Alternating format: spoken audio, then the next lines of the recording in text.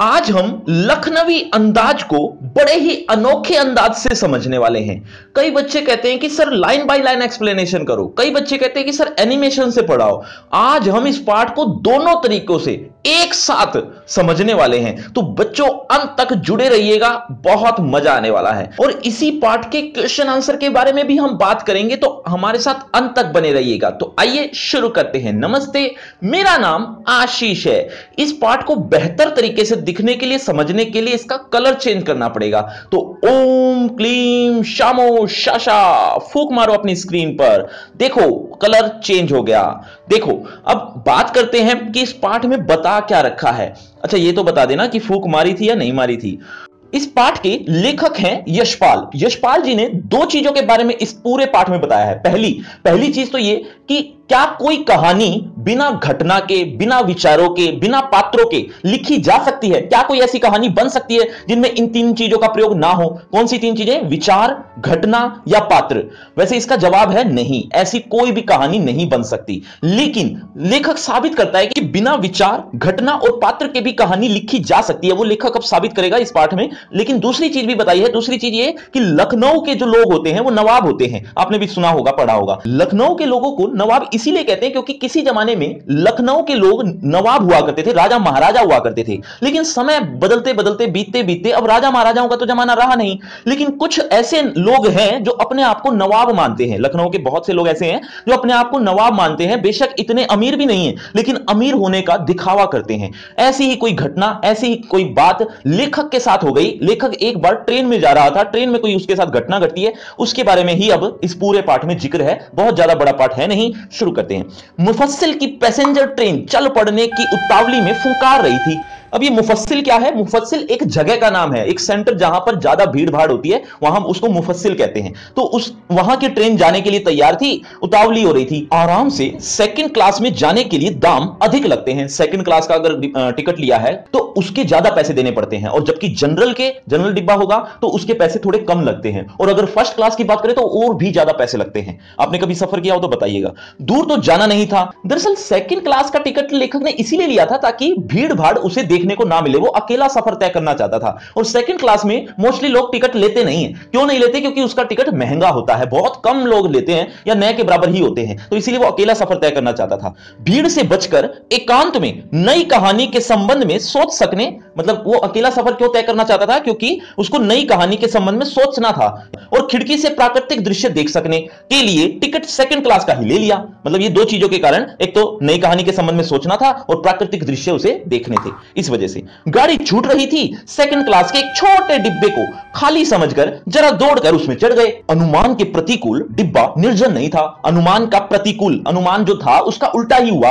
उल्टा क्या हुआ कि डिब्बा निर्जन नहीं था। निर्जन का मतलब होता है एकांत। एकांत नहीं था। वहाँ पर एक आदमी मिल गया, एक आदमी बैठा हुआ था। एक बर्थ पर, कौन बैठा हुआ था वही बताया गया आगे। एक बर्थ पर, बर्थ मतलब सीट। एक सीट पर लखनऊ की नवाबी नस्ल के एक सफ़ेद पोष सज्जन बहुत सुविधा से पालती मारे बैठे थे। मतलब नवाबी नस्ल के एक सफ़ेद पोष सज्जन। नवाबी नस्ल का मतलब लखनऊ का ही कोई एक आदमी, ऐसे सज्जन सुविधा से पालती मारे बैठे थे, आराम से बैठे हुए थे। अब आगे लेखक क्या बता रहा है, वो पहले आप सुन लो, नहीं तो थोड़ा कम समझ में आएगा। हुआ ये कि जब लेखक वहाँ पहुँचा तो एक लखनऊ का एक आदमी आलती पालती मारे हुए बैठा हुआ था lá. खीरे, उसके सामने खीरे रखे हुए थे, दो। दो खीरे खीरे किसको इंडिकेट करे? खीरे का मतलब सस्ती सी चीज़, सस्ती सी चीज़ उसके सामने रखी हुई थी। अब उसने खरीदे तो खाने के लिए थे, लेकिन जब लेखक वहाँ आ जाता है तो उसके चेहरे पर असंतोष आ जाता है। असंतोष मतलब थोड़ा सा घबरा सा जाता है कि अब उसके सामने वो ऐसी सस्ती सी चीज़ कैसे खाए? क्योंकि वो तो अपने आप में नवाब बनते हैं, रईस बनते हैं, अमीर बनते हैं तो अमीर लोग ऐसी सस्ती सी चीज़ कैसे खाएँ? इसीलिए इसी झिझक में वो बेचारा इधर उधर देखने लगता है। तो ऐसा ही कुछ हम पढ़ने जा रहे हैं, देखिएगा। सामने दो ताजे चिकने खीरे तौलिए पर रखे थे। डिब्बे में हमारे सहसा सहसा यानी अचानक अचानक कूद जाने से सज्जन की आँखों में, यहाँ सज्जन ये नवाब नवाब साहब हैं, यानी कि वो जो लखनऊ का ही आदमी था। तो उसकी बात हो रही है सज्जन। सज्जन की आँखों में एकांत चिंतन में, वो एकांत चिंतन में था, लेकिन विघ्न पैदा हो गया। विघ्न मतलब बाधा आ गई। बाधा का असंतोष दिखाई दिया। मतलब जब भी वो लेखक वहाँ पहुँचा तो वैसे ही उसके चेहरे पर असंतोष दिखाई देने लगा। वो एकांत चिंतन में था, लेकिन वो बाधा पहुँच गई उसके पहुँचने पर। किसके पहुँचने पर? लेखक के पहुँचने पर। सोचा, हो सकता है यह भी कहानी के लिए सूझ की चिंता में हो। लेखक को लगा यह भी मेरे जैसा ही है कि कहानी सोच रहा होगा। लेकिन ऐसा कुछ नहीं था। या ऐसा भी सोचने लगा लेखक कि शायद हो सकता है कि खीरे जैसी अपदार्थ वस्तु का शौक करते देखे जाने के संकोच में हो। नवाब साहब ने संगति के लिए उत्साह नहीं दिखाया। मतलब एक्साइटेड नहीं हुआ नवाब साहब। बात करने के लिए, उससे मिलने के लिए उसने अपनी नज़रें घुमा ली थी। हमने भी उसके सामने, हमने किसने? लेखक ने। लेखक ने भी उसके सामने की बर्थ पर बैठकर, बर्थ का मतलब अभी थोड़ी देर पहले ही बताया था। देखते कितने बच्चों को याद है कमेंट करना। पर बैठकर आत्मसम्मान में आँखें चुरा ली। आत्मसम्मान मतलब सेल्फ रिस्पेक्ट अपनी सेल्फ रिस्पेक्ट को देखते हुए उसने भी आँखें घुमा ली लेखक ने। आगे देखिए, आगे क्या होता है? थाली बैठे कल्पना करते रहने की पुरानी आदत है। लेखक कहता है कि मेरी तो बहुत पुरानी आदत है कि मैं जब भी थाली बैठता हूँ थाली मतलब खाली खाली बैठता हूँ तो कल्पना करने लग जाता हूँ। कल्पना क्यों करता है लेखक? क्योंकि वो लेखक है और उसको तो नई नई कहानियाँ लिखनी होती है, कविताएँ लिखनी होती है तो वो ऐसा करता ही रहता है। लेखक क्या कल्पनाएँ करता है? सोचता है कि शायद नवाब साहब ने भी सेकंड क्लास का टिकट इसीलिए खरीदा होगा क्योंकि वो अकेला सफ़र तय करना चाहता होगा और खीरे भी खरीद लिए होंगे ताकि वो अकेले खा सके, क्योंकि अगर वो सबको दिखाकर खाएगा तो इससे उसकी गरीबी झलकेगी। यानी अमीर जो बनते हैं वो उसका भेद खुल जाएगा। तो ऐसा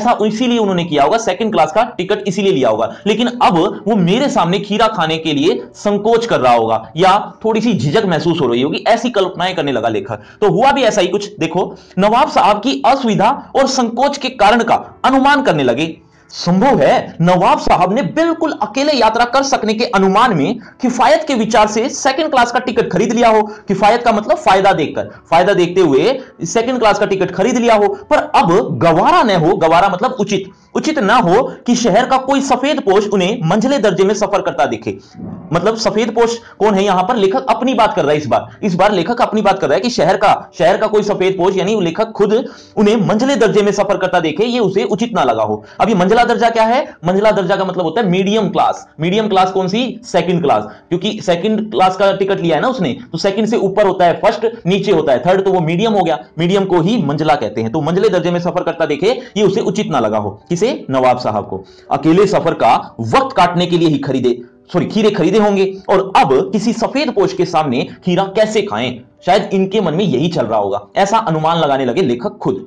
हम कनखियों से, कनखियों का मतलब तिरछी नज़र से, तिरछी नज़र से नवाब साहब की ओर देख रहे थे कि क्या, वो क्या क्या कर रहे हैं। नवाब साहब कुछ देर गाड़ी की खिड़की से बाहर देखकर स्थिति पर गौर करते रहे। पहले तो वो गाड़ी के बाहर देखते रहे, खिड़की से बाहर देखते रहे, सोचते रहे कि क्या करूँ, कैसे खाऊं, कैसे ना खाऊं वगैरह वगैरह इस तरह से वो करते रहे, सोचते रहे। ओह! एकदम से क्या हुआ? नवाब साहब ने सहसा सहसा यानी अचानक से हमें संबोधन किया, यानी पुकार लिया, कहा, आदाब अर्ज़, जनाब, खीरे का शौक फरमाएँगे। मतलब खीरा खाएँगे क्या? ऐसा उन्होंने कहा। नवाब साहब का सहसा भाव परिवर्तन अच्छा नहीं लगा।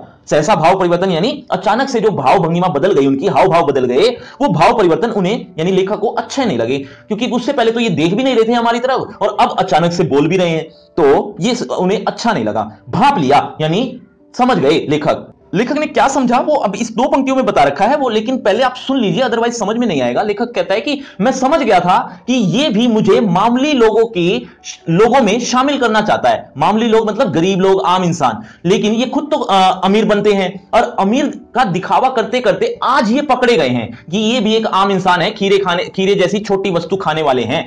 तो उन्होंने क्या किया? वो भी लेखक को मिला लेना चाहता है इन्हीं कैटेगरी में इसी मामूली लोगों की कैटेगरी में। तो लेखक अगर वो खीरा खा लेता है तो लेखक भी वैसा ही बन जाएगा। यानी लेखक भी आम इंसान हो गया। तो जो नवाब साहब है और लेखक हैं, दोनों जब एक ही कैटेगरी के हो जाएँगे तो नवाब साहब को इतनी दिक्कत नहीं होगी। इसीलिए वो उसको पुकारता है और कहता है या संबोधन करता है कि आप भी खीरा खा लीजिए, क्योंकि अगर वो खीरा खा लेता है तो वो भी उसी कैटेगरी का हो जाएगा। तो ऐसा वो लिखता है, लेखक, भाप लिया, आप शराफत का गुमान बनाए रखने के लिए, गुमान यानी अहंकार, शराफत का अहंकार बनाए रखने के लिए हमें भी मामूली लोगों की हरकत में लथेड़ लेना चाहते हो लथेड़ना मतलब होता है मिला लेना। तो आप भी मामूली लोगों की हरकत में मिला लेना चाहते हो मुझे भी।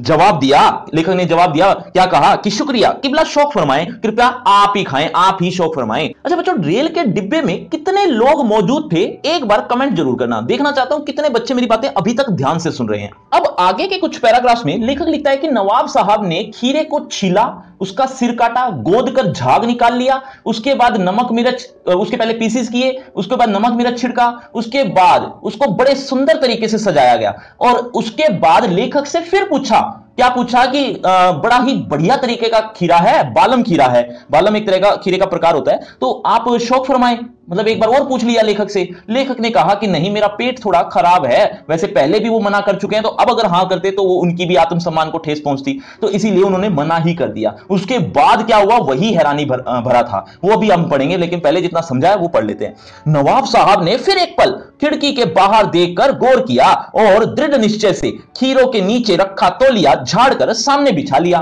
सीट के नीचे से लोटा उठाकर सीट के नीचे एक लोटा रखा हुआ था जिसमें पानी था। सीट के नीचे से लोटा उठाकर दोनों दोनों खीरों को खिड़की से बाहर धो लिया, क्योंकि अगर ट्रेन में धोते तो पानी अंदर आता, इसलिए खिड़की के बाहर धोया और तोलिए से पहुँच लिया। तोलिए से अच्छी तरीके से पोछ लिया उन खीरों को। जेब से चाकू निकाला, उनके पास चाकू भी था। दोनों खीरों के सिर काटे, दोनों खीरों के सिर काट लिए। जैसे एक आप करते होंगे, आपके पेरेंट्स आपने देखा होगा, सिर काटे और उन्हें गोद कर झाग निकाल लिया। गोद कर झाग निकाला, जिस तरह से आप देख रहे हैं।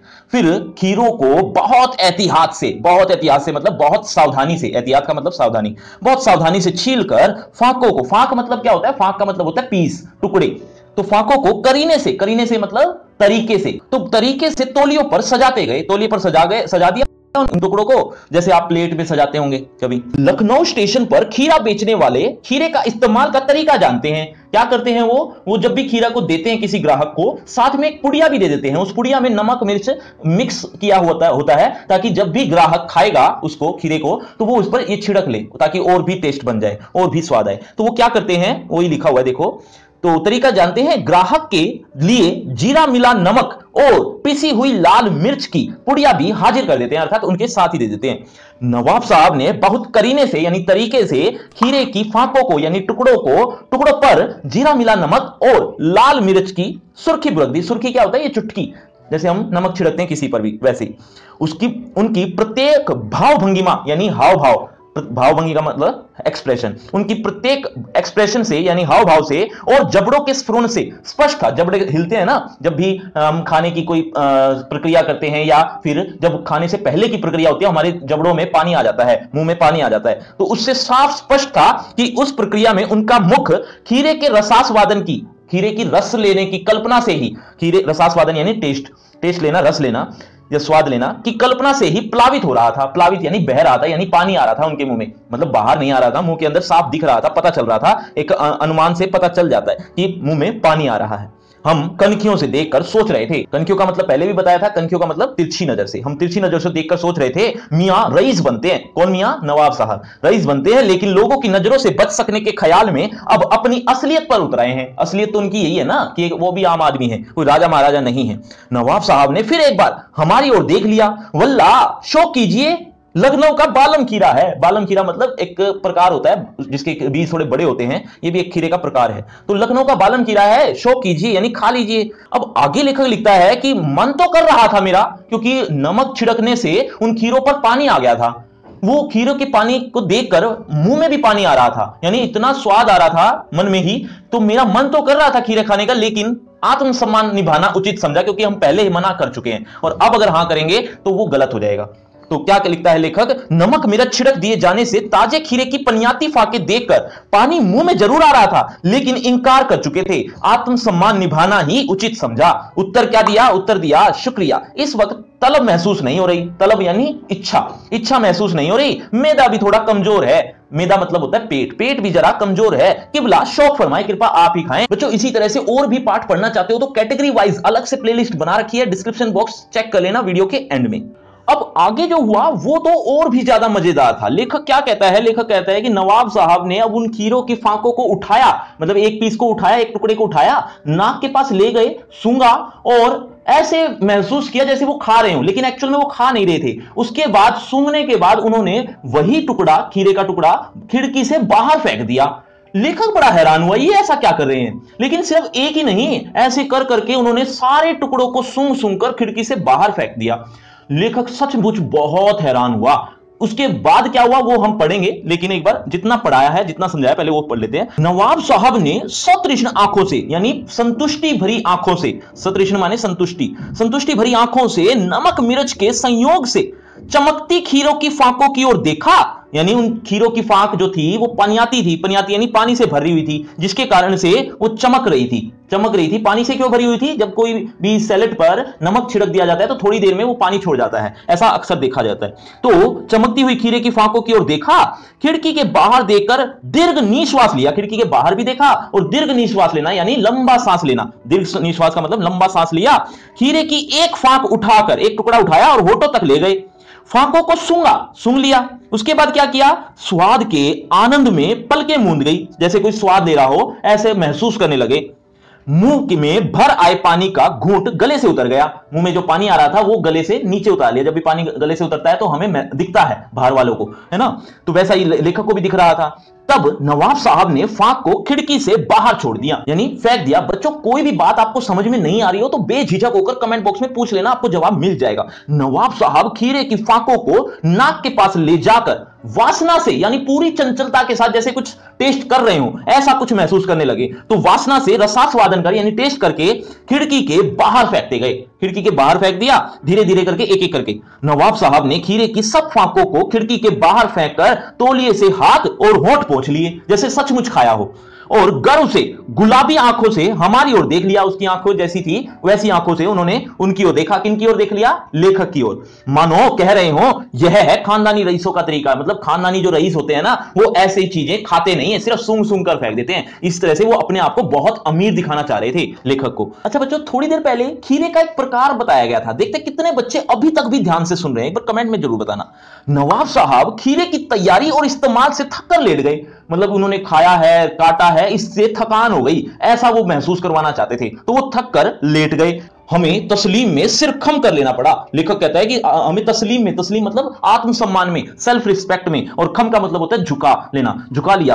तो हमें तस्लीम में आत्मसम्मान में सिर झुका लेना पड़ा। क्यों? क्योंकि वो सोचने लगे कि यह है खानदानी तहजीब। तहजीब माने संस्कृति, कल्चर। ये खानदानी रईसों का तहजीब है। ये कल्चर है। ये नफासत है। नफासत का मतलब शिष्टाचार, शिष्ट व्यवहार, यानी मैनर्स और नजाकत। नजाकत का मतलब कोमलता सॉफ्टनेस तो ये है खानदानी लोग। ऐसा वो सोच रहे हैं अपने सिर झुकाकर। अब आखिरी के कुछ पैराग्राफ्स में लेखक कहता है कि मैं सोच ही रहा था कि क्या इस तरीके से पेट की तृप्ति भी हो सकती है? मतलब ये तरीका अच्छा था सूंघ कर फेंक दिया, लेकिन क्या पेट भी भर सकता है इस तरीके से? अभी वो सोच ही रहे थे कि इतने में नवाब साहब जो लेटे हुए थे वो खड़े हो गए। खड़े हुए और उन्होंने एक डकार लिया। बड़ी ज़ोर से डकार लिया। लेखक और भी ज़्यादा हैरान। क्या सोचकर कि इनको डकार भी आ गया, यानी इनका पेट भी भर गया? तो फिर तो वो ये सोचते हैं कि जब ऐसे एक तरीके से, यानी बिना खीरे को खाए सिर्फ़ सूंघने मात्र से। जब पेट भर सकता है तो फिर बिना पात्रों के, घटना के विचारों के कोई भी कहानी क्यों नहीं बन सकती? बन सकती है। ऐसा कुछ लेखक बताना चाहता है, लेकिन एक दो बातें और भी थी, वो भी अब हम बताएँगे, लेकिन एक बार पढ़ लेते हैं जितना समझाया। हम गौर कर रहे थे कि खीरा इस्तेमाल करने के इस तरीके को, कैसे तरीके को, वो आगे लिखा हुआ है कि खीरे की सुगंध और स्वाद की कल्पना से संतुष्ट हो जाना। यह जो तरीका है, इससे, इस तरीके को सूक्ष्म नफीस सूक्ष्म का मतलब छोटा माइक्रो जिसको इंग्लिश में बोलते हो आप तो सूक्ष्म या छोटा, नफीस का मतलब होता है बढ़िया, और एब्स्ट्रैक्ट का मतलब होता है काल्पनिक, सिर्फ़ कल्पना मात्र में। तो काल्पनिक तरीका ज़रूर कहा जा सकता है, उसको ऐसे तरीके को सूक्ष्म, बढ़िया, और काल्पनिक तरीका ज़रूर कहा जा सकता है, परंतु क्या ऐसे तरीके से उधर की तृप्ति हो सकती है क्या? उधर यानी पेट। पेट की तृप्ति यानी पेट भर सकता है क्या? लेखक ऐसा सोच ही रहा था, इतने में हुआ क्या? नवाब साहब की ओर से भरे पेट के ऊँचे डकार का शब्द सुनाई दिया। और नवाब साहब ने हमारी ओर देखकर कह दिया। उन्होंने एक बात भी कही जिससे लेखक और भी ज़्यादा हैरान हो गया। क्या कहा? खीरा लजीज होता है, यानी बहुत स्वादिष्ट होता है। लेकिन होता है सकील सकील यानी जो आसानी से पचता नहीं है। जो आसानी से न पचे, उसको सकील कहते हैं। तो लजीज तो होता है, स्वादिष्ट होता है, लेकिन अपच होता है, यानी आसानी से वो पसता नहीं है। नामुराद मैदे पर बोझ डाल देता है। नामुराद का मतलब होता है बैरी या दुश्मन। ये दुश्मन मैदे मतलब अभी बताया था पेट तो ये दुश्मन पेट पर बोझ डाल देता है। अब ये दुश्मन कौन है? ये खीरे को कहा है। ये जो दुश्मन है ना, ये खीरा हमारा तो ये हमारे पेट को नुकसान पहुंचाता है या ये बोझ डाल देता है, हैवी कर देता है। आगे देखिए, ज्ञान चक्षु खुल गए। ज्ञान चक्षु मतलब उन्हें समझ में आ गया लेखक को। क्या समझ में आया? वो आगे की दो लाइन, चार लाइन में लिखा गया है कि ये हैं नई कहानी के लेखक। ये हैं ऐसे लेखक जो नई कहानी लिख सकते हैं। वो नई कहानी कौन सी? कि जो बिना पात्रों के कहानी सॉरी विचारों के और घटनाओं के। अगर ऐसी कहानी लिखनी पड़े तो ऐसे लेखक, ये नवाब साहब जैसे लेखक लिख सकते हैं। क्योंकि जब ये बिना खाए पेट भर सकते हैं तो ये बिना पात्रों के कहानी क्यों नहीं लिख सकते? ऐसा लेखक सोचता है। बच्चों, इस वीडियो को ज़्यादा से ज़्यादा शेयर कीजिएगा। अगर आपको ऐसी ही वीडियोस और भी चाहिए, जितना ज़्यादा शेयर करोगे, बहुत जल्दी और भी वीडियोस मिलेंगी आपको। हीरे की सुगंध और स्वाद की कल्पना से पेट भर जाने का डकार आ सकता है तो बिना विचार, घटना और पात्रों के, लेखक की सिर्फ़ इच्छा मात्र से नई कहानी क्यों नहीं बन सकती। तो बच्चों, अब आपके मन में यह चल रहा होगा कि क्या ऐसी कहानी लिखना संभव है जिसमें विचार, घटना और पात्र न हो? क्योंकि लेखक तो ऐसा कह रहा है। तो क्या संभव है? तो बच्चों, इसका आंसर आपको अपने प्रश्नों में मिलेगा, जब आप इस पाठ के प्रश्न पढ़ोगे। क्योंकि इसी पाठ के जो प्रश्न आपको मिलेंगे अब, वो एक्सरसाइज के क्वेश्चन मोस्ट इंपोर्टेंट क्वेश्चन और एमसीक्यू टाइप क्वेश्चन इसका लिंक आपको सबसे ऊपर डिस्क्रिप्शन बॉक्स में मिल जाएगा। वहाँ पर आप पढ़िएगा, आपकी बहुत ज़्यादा नॉलेज इस पार्ट से रिलेटेड बढ़ेगी। और इसके साथ ही आपको आपकी क्लास से रिलेटेड फ्री क्रैश कोर्स चाहिए तो उसका लिंक भी आपको डिस्क्रिप्शन बॉक्स में ऊपर ही मिल जाएगा, जो कि बिल्कुल फ्री है, जिसमें आपको ए टू जेड सिलेबस देखने को मिलेगा। और अगर आपको मुझसे बातचीत करनी है तो सभी सोशल मीडिया के लिंक डिस्क्रिप्शन बॉक्स में है। आ जाइए, बातचीत करते हैं। अब इतनी देर तक रुके ही तो आपको एक छोटी सी ट्रिक और बताता हूँ कि आपको इस चैनल से रिलेटेड जो भी पाठ, कविता या व्याकरण का कोई भी टॉपिक आप समझना चाहते हैं